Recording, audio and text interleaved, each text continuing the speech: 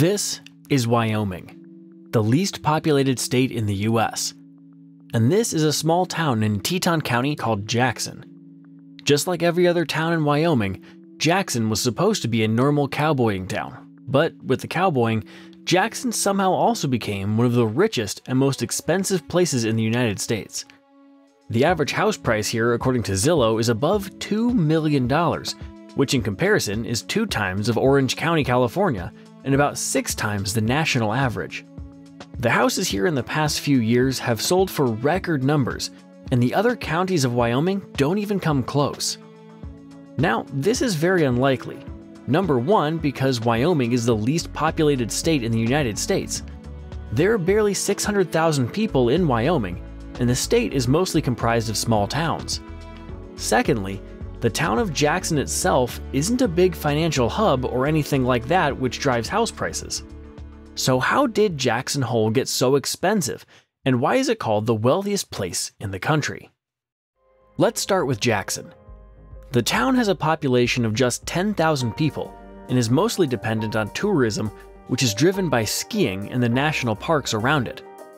The town has all sorts of restaurants, shops, and tourism concentrated businesses which is just like every other ski location. But what isn't just like every other ski location is the level of wealth which is in this town and this valley. So, the reason the town is so wealthy is because there are several billionaires and millionaires who call Jackson Hole their home or second home. Now, the town itself doesn't have any billionaires or millionaires. They might come there for a drink or two, but they don't live in the town. Most rich people actually live outside of the town and that's because all the new developments are a few miles away from the town. The developments are considered in the town because Jackson is the only town near them. These developments are the places where you'll see exceptionally big houses and the richest people in the country going for a morning walk. Now, it wasn't like this always. The people of Jackson were never billionaires or millionaires. The people who are billionaires were not actually Wyoming natives, but they had shifted here from other states and Jackson Hole has seen people with similar backgrounds filling up the valley. This influx here has been going on for more than a decade, but during the COVID period, it reached a new peak. Everybody was trying to avoid the cities, and Teton County just saw a massive wave of people from different parts of the country buying multi million dollar homes here.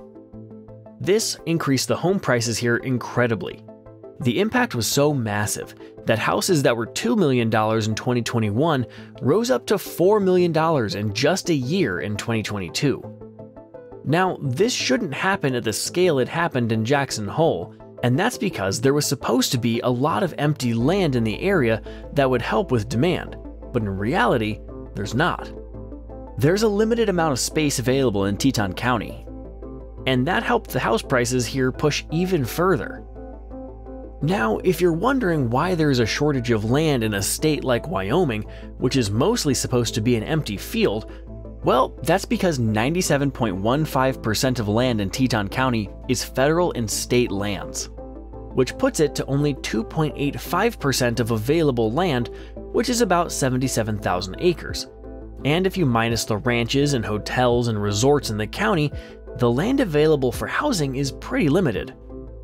Now, Jackson became expensive because of the people who moved there, which included them buying big houses and ranches, which later on increased the price for the whole area. But the question here is why they moved here in the first place. Well, that's pretty complicated because people have very different reasons to be here, but for the majority of people, it's a combination of factors. Generally, most people come to Wyoming because there are no taxes. The state collects no personal or corporate income tax, and it has one of the nation's lowest sales tax rates. But you see, it isn't just about the taxes. It's also about an escape from the city life. In the recent few years, the number of people that are leaving big cities in America has increased drastically. This has led people to look for places which are the opposite of cities, which would be peaceful, less traffic, and more nature connected. Jackson came out as a perfect place. It's one of the most beautiful places in the country. There are plenty of outdoor activities, and the town has all the necessities plus the coolest bar. It's kind of the same thing as Aspen and Vail. People moved there for the same reasons too, but they got too crowded later on, and Jackson Hole came out as another option. For retired people, it's the perfect place.